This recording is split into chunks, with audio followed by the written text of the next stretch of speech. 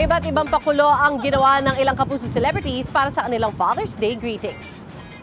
Sweet na sweet ang kapuso primetime king and queen Marian Rivera at Ding Dong Dantes sa Instagram story ni Yan. Love you, Dada, ang bati ni Yan sa asawang si Dong. Isang special appreciation post naman ang dinedicate ni Ia Villania sa asawang si Drew Arellano.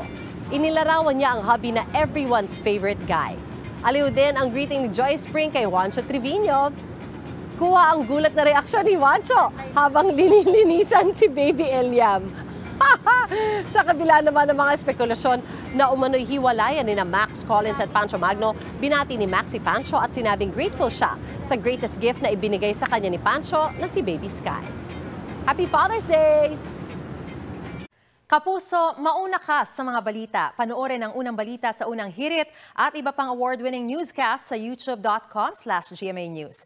I-click lang ang subscribe button. Sa mga kapuso abroad, maaari kaming masubaybayan sa GMA Pinoy TV at www.gmanews.tv.